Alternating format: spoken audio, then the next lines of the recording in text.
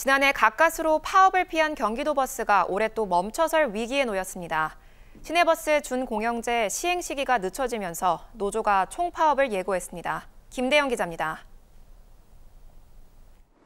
경기도 버스노조 협의회는 지난달 22일 열린 사측과 4차 단체 교섭에서 이견을 좁히지 못했다며 최종 결렬을 선언했습니다. 오는 10일 경기지방노동위원회에 조정을 신청할 계획입니다. 조정 기간은 오는 25일까지입니다. 13일에는 17,000여 전 조합원 대상 파업 찬반 투표도 진행합니다. 투표가 가결되고 조정 기간 안에 합의가 이뤄지지 못할 경우 오는 26일 파업에 돌입할 계획입니다. 경기도는 이제 공공버스하고 민영제 버스가 혼재돼 있다 보니까 사업장에서 굉장히 혼란이 오고 이제 임금 차이서부터 근로 조건까지 너무 천차만별의 그런 쟁점은 시내버스 준공영제입니다. 지난해 노조는 민선 8기 내 준공영제 전면 시행 등 근무 여건 개선을 조건으로 파업을 철회했습니다.